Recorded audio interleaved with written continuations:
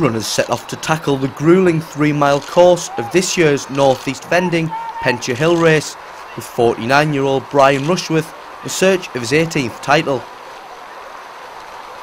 Wearing the number one, the Sunderland Harrier started well, sticking with the front few after the first steep incline.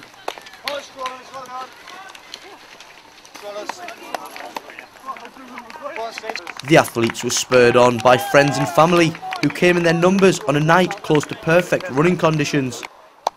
Rushworth was on the tail of second place Nathan Reed, with former winner Nick Swinburne leading the way as the course circled Penshaw Monument for the first time.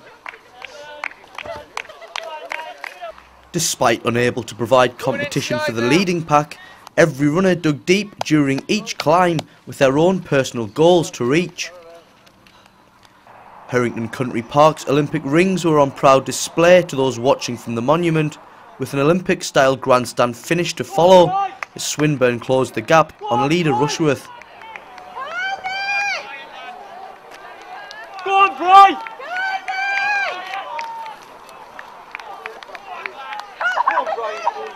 Go on, Bry! Chasing on! Go on, Bry! Go on, Bry! Pass, son! Go on, Brian, that's 20 on. Go on, Jason on, Brian, go on. Well done, son. Going for the 18th time, how does it feel?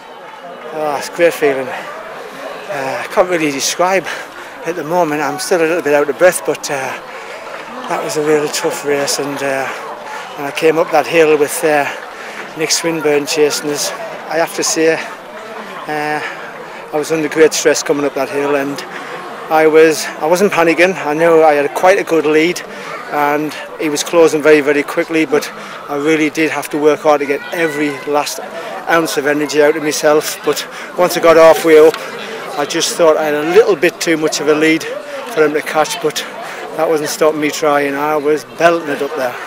I really was putting some effort in and my legs were burning and yeah I'm very very happy